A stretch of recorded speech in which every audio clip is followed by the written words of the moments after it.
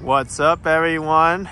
I'm here in the East Village, Tompkins Square Park, and uh, I don't know about this Christmas tree, but it's like so really, really unique. What do you think about it? Um, I think if it had some ornaments, you might not notice how skimpy it looks. It definitely caught our attention as we were walking by.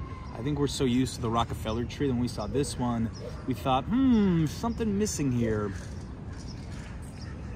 This has to be like the saddest looking Christmas tree I've ever seen in New York. It's like oblong, it's shaped so oddly. Doesn't even look like it belongs here, to be honest.